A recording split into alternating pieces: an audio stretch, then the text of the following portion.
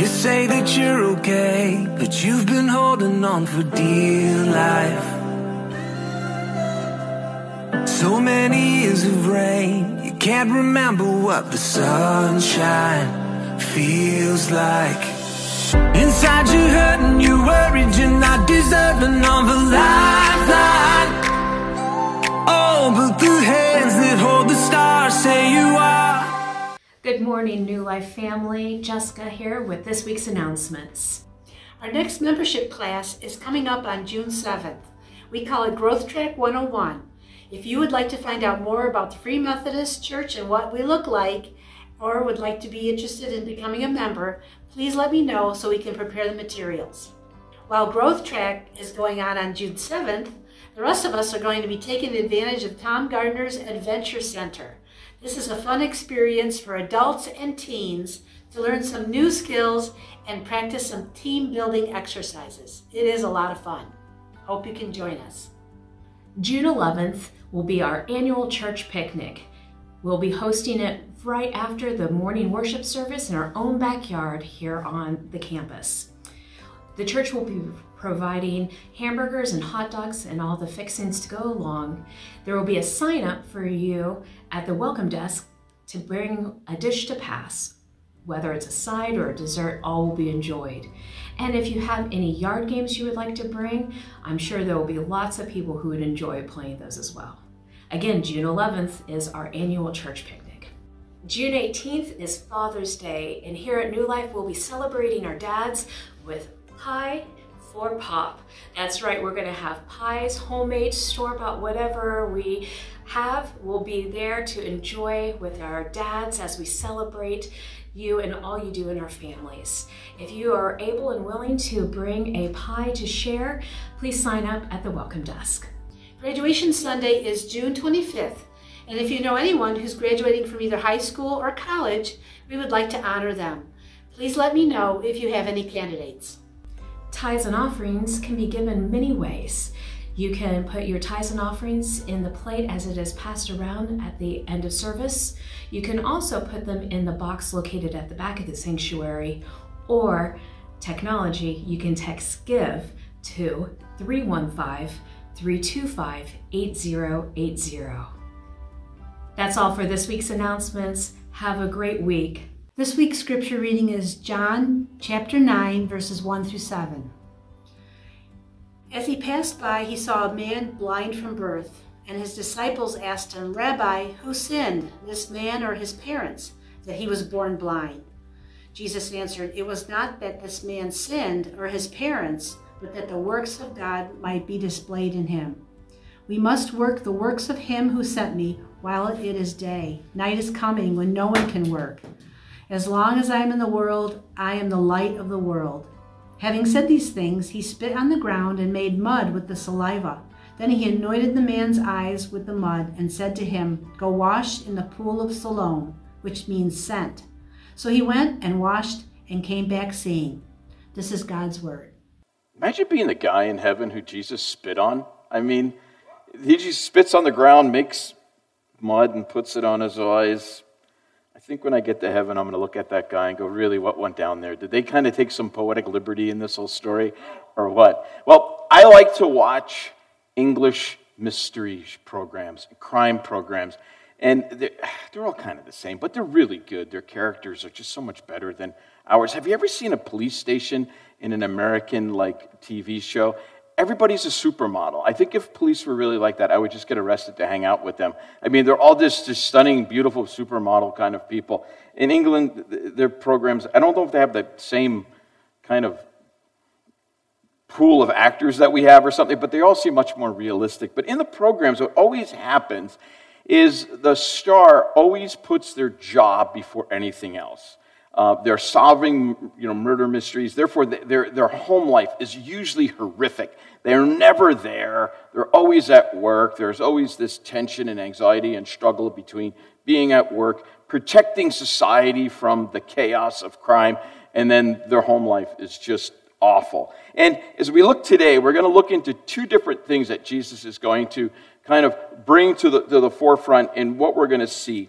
We're going to look at this whole idea of what it's like to, to go through personal suffering Or what is it like to be spiritually blind? And what happens is when we put something that's good into, into a position that uh, is, that, that is reserved for the great, when we make an idol out of something, which we all do, what happens is we become blind to other things in our life. Just as those detectives who put their career before their family, they become blind to the fact that their family needs attention. And so we're going to look into this idea today that when we promote something that's good into something that great, it leads us into an idea of spiritual blindness. Now, as we look at that passage, first fill in the blank is Jesus deals with our first thing is personal suffering.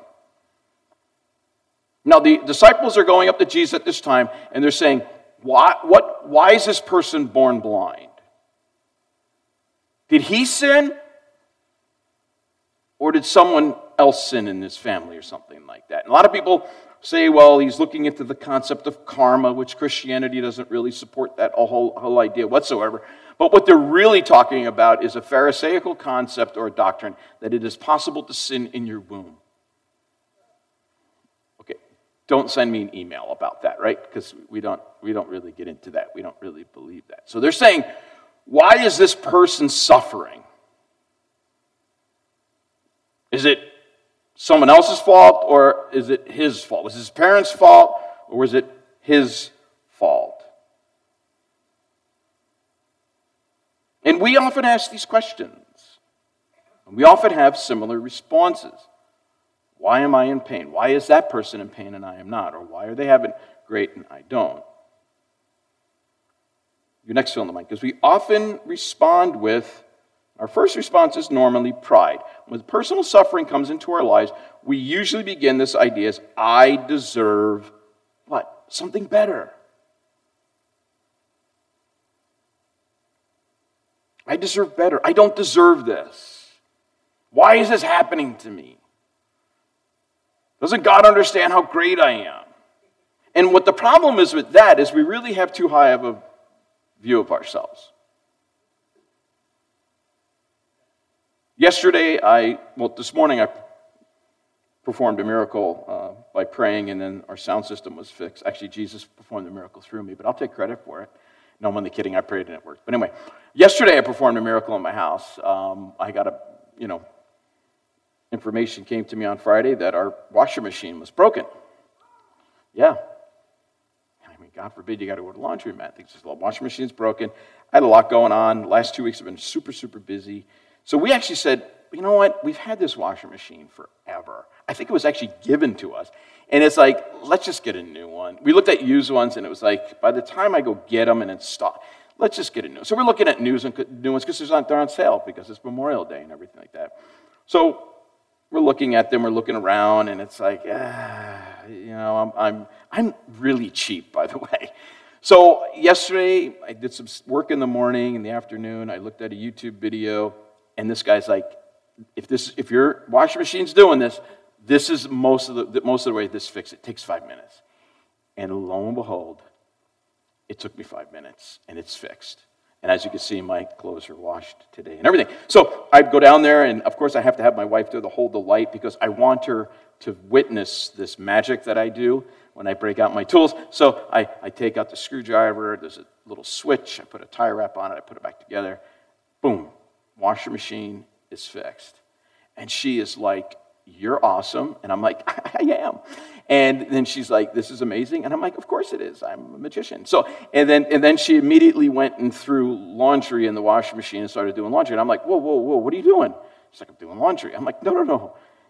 We got to like have a parade. You know, you got to like lift me up on my shoulder and carry me around. So, and she's like, I got to get the laundry done. And I'm like, Yeah, but I fixed it you know, so I was like, well, what am I going to do? So I walked upstairs and I announced to everybody else in the house that I fixed the washer machine, and they weren't very impressed. So I went to Home Depot, and you know, I walked into Home Depot, and they're like, "How are you today?" I'm like, "How am I today?" I fixed the washing machine today. And they were like, "Oh my goodness!" They announced over the loudspeaker, "Chris Mashagna's here. He fixed the washing machine." I walked down an aisle, and I'm like, I'm still, I'm like, you don't understand. I fixed the washing machine we were going to buy a new one. And I ran into somebody. I've only met this guy like three times. And I'm like, how's it going? He's like, good. How are you doing? I'm like, how am I doing? What are you fixing? Well, I'm fixing an awning in my backyard. I fixed the washing machine today. And he was like, oh my goodness. They lifted me up on their shoulders. So I got home and I worked on something else, and I kept reminding my wife, I'm the guy that fixed the washing machine. She was like, Yeah, that was great. That was like three hours ago. What's the big deal? I'm like, It's a huge deal.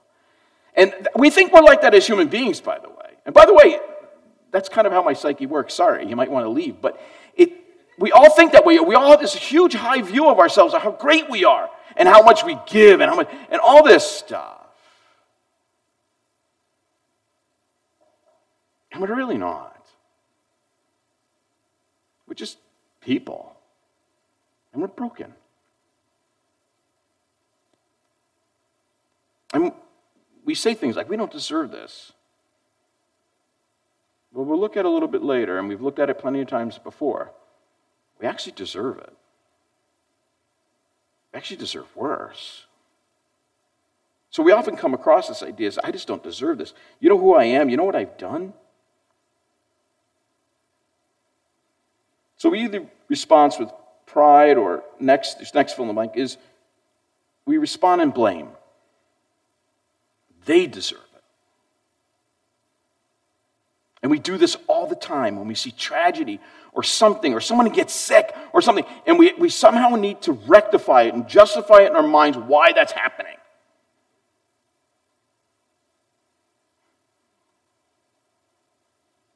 Oh, you know, it's they, they did this or not that, and they wouldn't, this wouldn't have happened. That's what happens when you do that, you know. You reap what you sow. Really?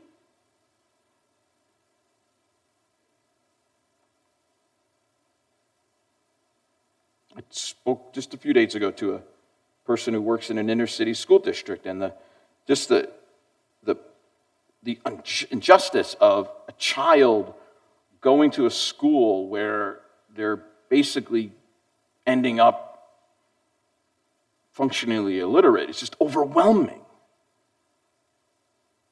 That three miles from here, kids go through an educational process and just come out functionally illiterate. And how just the injustice of that. And we all have our ways of dealing with it. If you lean towards the right, you say, well, family breakdown. Oh, that, that family thing, all right. Oh, everything right. Then if you lean a little bit more towards the left, you go, oh, systematic injustice, uh, racism or injustice. But nobody blames the kids. And they're the victims. And we somehow blame and we somehow put into the situation some way where we justify it in our minds from happening. Well, if that happened to me, oh. So we usually respond in personal suffering with pride, I don't deserve this, or blame, they deserve that. Or three is we ignore it. We say, who cares? We close our eyes and glad it's not me. Stinks to be you. We just go along with our lives. Well, there's a passage in Luke chapter 13. We've looked at it before. I'll read it to you. It says, There were some present at that time who told him about the Galileans whose blood Pilate had mingled with their sacrifices. And he answered them, Do you think that these Galileans were worse sinners than all other Galileans because they suffered in this way? And this is Jesus speaking. No, I tell you, but unless you repent, you will all likewise perish. And what they're saying is, hey, Jesus, these Galileans, Pilate mingled, killed, butchered them. Why'd that happen? Jesus goes, Are you blaming them? Do you think they're worse than you? Do you think they're worse than other Galileans? Do you think because they were so bad, that's why this bad thing happened to them? And their answer is probably yes. And Jesus goes, No. And you need to repent. You need to think about this totally different. And we need to think about personal suffering totally different. differently than our fallen nature does, differently, different than our religious nature does. Then he goes on. He says, Or those 18 whom the tower of Siloam fell on, fell and killed them, do you think that they were worse offenders than all others who lived in Jerusalem? No, I tell you, unless you repent, you will likewise perish.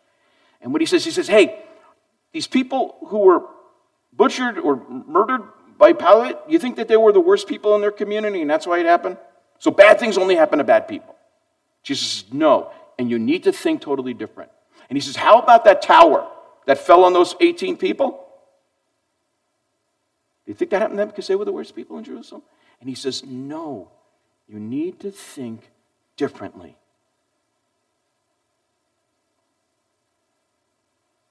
And what Jesus is saying is you need to get off of your pride horse and say, Hey, I'm better. And you need to get off your blame horse and say they deserve it. And by the way, you need to get off your ignore, uh, your I'm going to ignore this and pretend it's not happening. And he says you need to think differently. And as Christians, we are called to think differently about personal suffering. And we don't get prideful and say, Oh, I'm a Christian. That doesn't happen to me. Or those people are really wicked and that can happen to them. Or who cares? It's too complex. I don't care. Christian says we Christian. Christ says we need to think differently.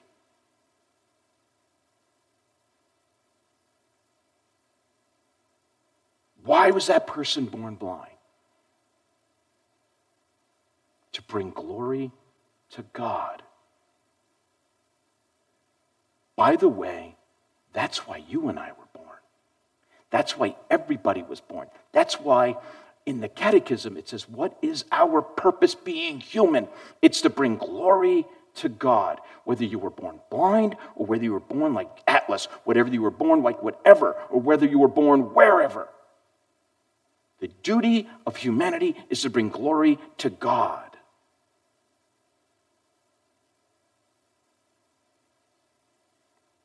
And when we engage personal suffering and we see people involved in personal suffering, we must think differently. We do not suffer because of our personal sin. There's a huge difference between being punished for our sins and being chased while we're in it or corrected by God in it. God never in one of those points begins to bring vengeance down upon us. That's not why we go through personal suffering.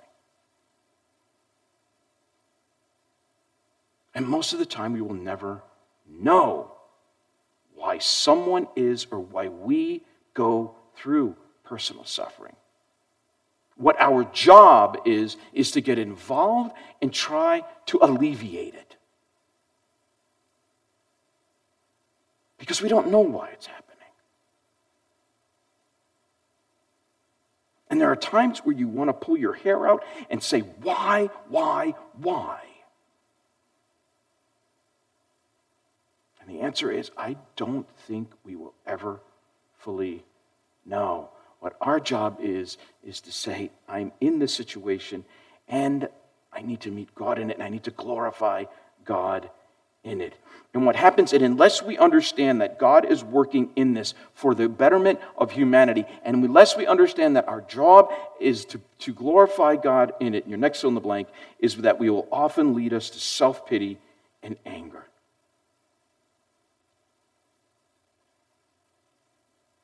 It will, if you don't realize that God is working in it, and that, listen, if, we suffer for what we've done wrong, why did Jesus, Jesus suffer? He didn't do anything wrong.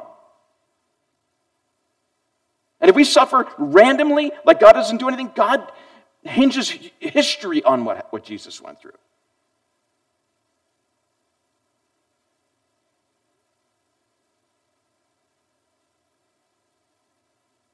And if we don't see that God is working, that there's a mystery, and what we're called to do is glorify God in it, whether we're witnessing it or it's happening to us, we will either turn out with either I hate me, self pity, or I hate thee, hatred of God.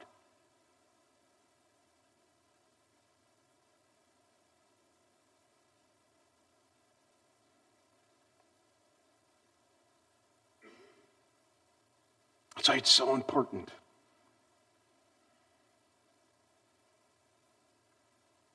When we see someone who's suffering, that we don't give them antidotes. Maybe we just give them our time, our presence.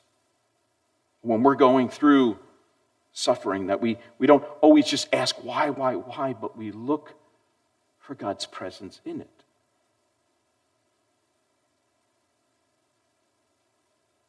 Job never got an explanation.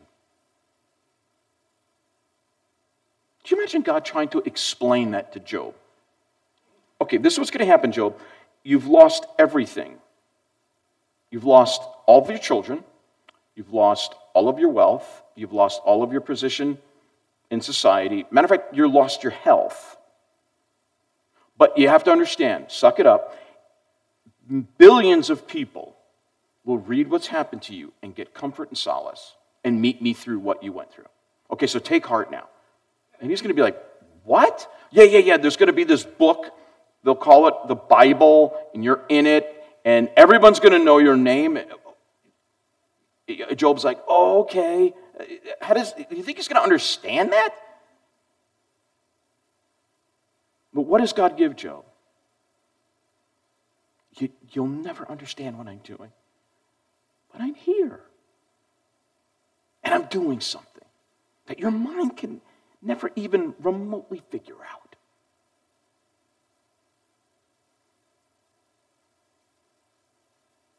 And it might not be the total answer we want, but it is the best answer that you get this side of eternity from any faith or philosophy. So Jesus deals with our um, with personal suffering, he also deals with this idea of our spiritual blindness. And in verse 39 and 40 of that same chapter we went through, it says, uh, For judgment I came into this world that those who do not see may see, and those who see may become blind. So the Pharisees near to him heard these things and said to him, Are we also blind? And Jesus basically answers them by saying yes. Yes. And before we come to faith in, in Christ, we can sense, but we don't see. We're blind. We're spiritually blind. Now, the Pharisees thought they saw, but Jesus is like, no, you don't. And I'm sure they were going like, I can see that. Jesus is like, yeah, but you need to understand that there is a form of sensor, there's a form of seeing that goes beyond just seeing the physical. There's something that goes beyond perception to realizing. And Jesus is like, You don't. You don't realize who I am. You see me, but you don't realize who I am.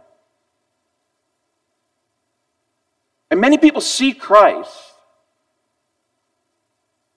but they don't realize who he is. And they can kind of sense he's a good guy. Now, I'm not a farmer, but in my yard there are plants. And plants can sense things. They can sense rain, they can sense heat, they can sense cold, they can sense sunlight and the lack of sunlight, and they respond to it. My grass goes dormant when there's a lack of sunlight. But if I walked up to the plant with a light and I put it up to it, it wouldn't start going like this to try to get away from it. Or if I went up to it with some, I don't want to say Roundup, but if I wanted to it with some kind of weed killer, it wouldn't try to get away from it. But if I put it on it, it would sense it and it would eventually die. Can't see it, but it can sense it. And before we are a Christian, we can sense certain things, but we don't fully see it. We can perceptionally maybe view it, but we don't have the realization of what's going on. And what's the difference there? The person who was born blind, when he saw Christ and understood Christ, what, what did he do? Worshipped him. What did the Pharisees do? Rejected him.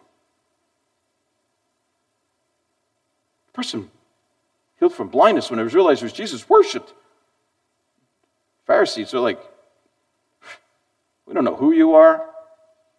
We don't like you. We like the Moses guy because he's really far away and it's history and we can orchestrate that and we know how it outcome. We don't like the Jesus guy. And when are you with Jesus? Do you worship him? Do you like worshiping him?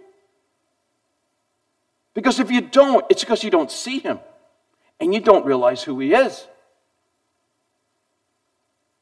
If worshiping Jesus is a pain in the neck to you and you don't like it, it's because you don't fully realize what he did.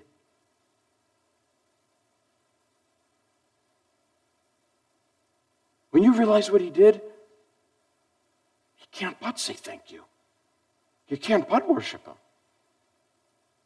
If you like serving Jesus more than worshiping him, it's probably because you can't really see him. You might sense he's a good guy and sense he did some nice things. You know, he tells people to get along and stuff like that. But when you see him for who he really is, you can't but worship him. That's one of the barometers we have. And by the way, it's easy to serve Jesus. When you go to worship him, there's something that happens in your heart. It's called conversion.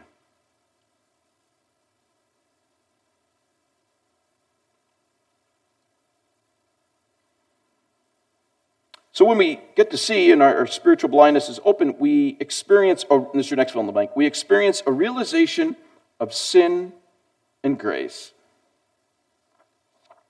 We see what is really going on inside of us.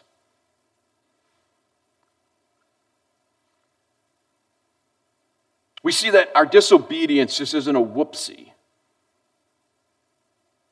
We see this thing called sin.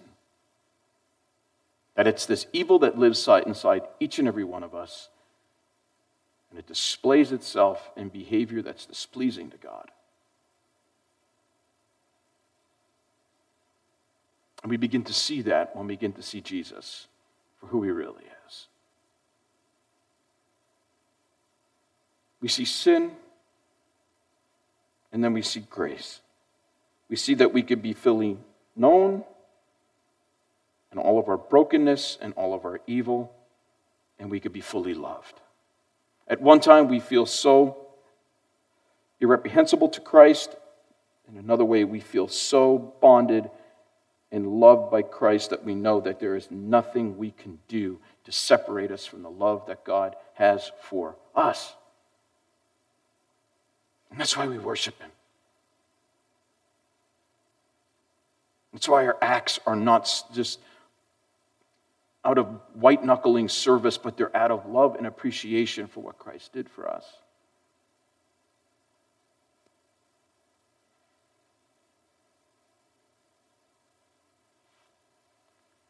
Last is our healing begins when we see the cross and worship.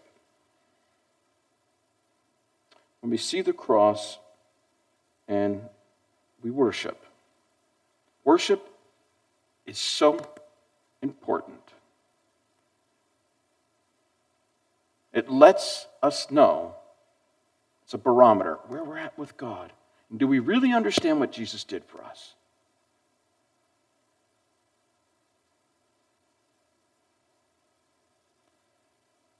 My wife comes from Jefferson County, and to get to my in law's house, you have to drive over 177 where all the windmills are. We have relatives who live in the shadow of one of those huge windmills, you know? And uh, the fellow's really a neat guy. He's a big football fan. He says, It's really weird. During the fall, during football season, goes, I'll be watching a game. It happens once a season. And he says, The windmill lines up with the sun. And all of a sudden, my living room turns into a big strobe light. Imagine that. You know, and he says, it's, it, it, you see the shadow just. And I remember as a kid, one time, I was playing baseball. It was summer league. It was the middle of summer. And it just so happened I was in, we're standing there getting warm ups, and a plane flew by. And you could see the shadow of the plane go across the field. And literally, our center fielder kind of went like this.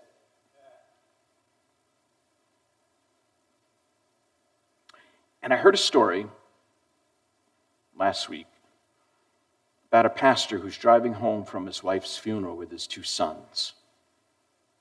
And they were driving down the highway. And they drove by a truck. And the shadow of the truck was cast on the car. And the pastor's driving the car, heartbroken. And his one son, older son, says to his younger son, Would you rather get hit by the shadow of the truck or the truck? The son goes, What? And he goes, Would you rather get hit by the shadow of a truck or by the truck? And he goes, The shadow of the truck.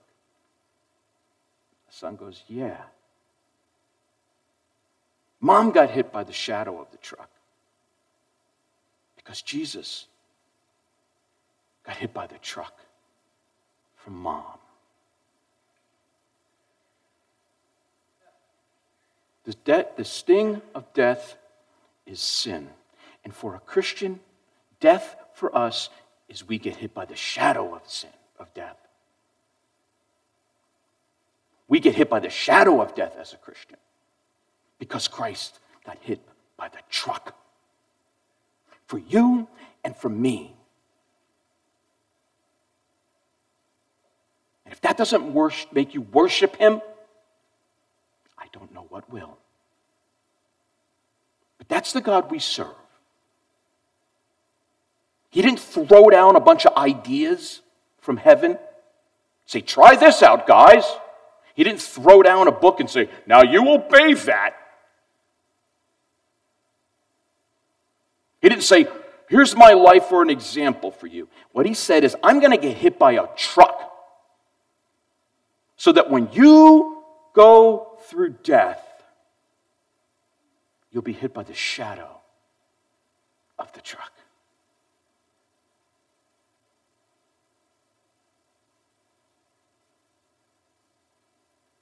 And all he asks us to do is worship him, to say thank you. If we can't do that, we don't understand who we're serving. And we're spiritually blind.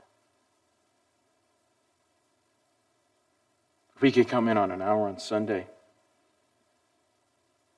and scream our heads off and say, Thank you for getting hit by the truck so I don't have to, we don't understand what we're, who we're worshiping. We don't understand who our God is.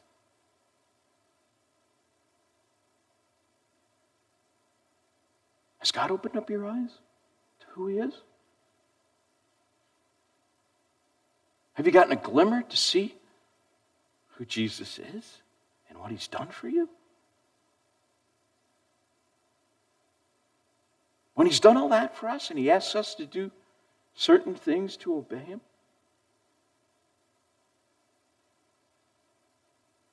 out of love and appreciation, I think He could ask us anything. So here's some next steps for this week. This week, I will ask God to forgive me and be Lord of my life.